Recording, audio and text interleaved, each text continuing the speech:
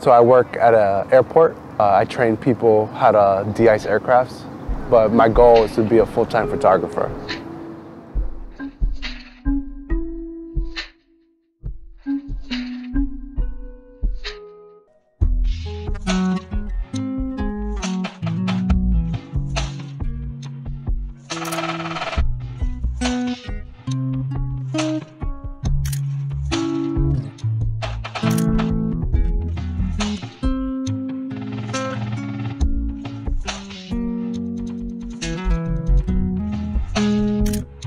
I kind of just do it for fun. Like I'm just trying to like get into it, build my profile. So I've been working with Jancel for like almost a year.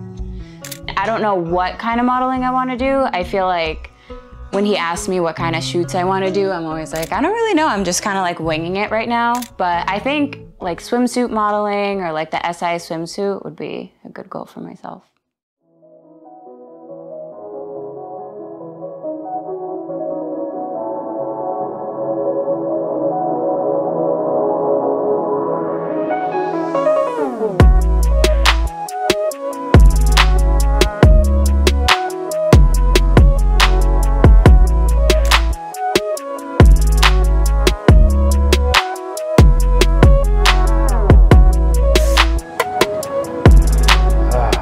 I get a lot of mixed answers. Some people tell me it's a waste. Um, it's going to be hard to make money, uh, but then I have people that are very supportive. But I always tell people if you have a dream, do whatever it takes to achieve it.